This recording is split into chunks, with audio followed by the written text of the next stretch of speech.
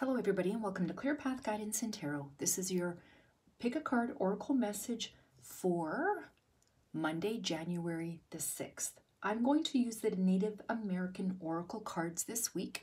Let's see how these messages work out for you guys. Um, they're short, they're sweet, and hopefully um, they will bring you guidance to the questions that you ask. So with that being said, I would like you to think of a question or a situation that you need guidance on or answers, and then pick a card.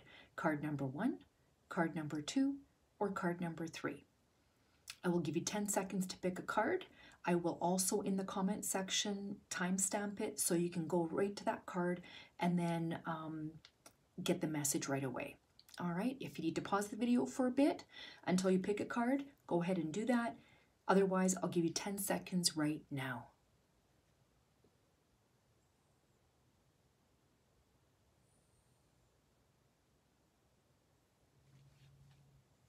All right, so for those of you who pick card number one, your message is, that is the wolf.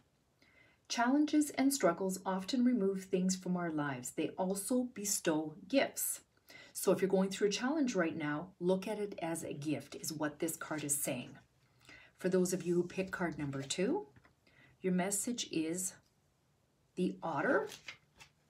And the otter says, dive into the healing waters of play and exploration to find new ways of being.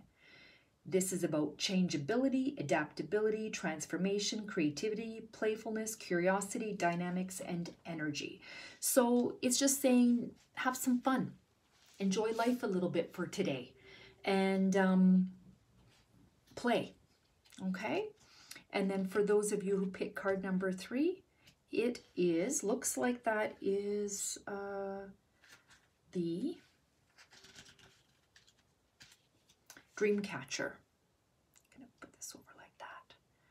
All right, so the dream catcher, the message is cultivate discernment and make sure you understand all the subtleties before jumping to conclusions. All right, so do not jump to conclusions uh, when it comes to whatever the situation is that you need help on. All right, all right, everybody, have a great Monday. Bye bye.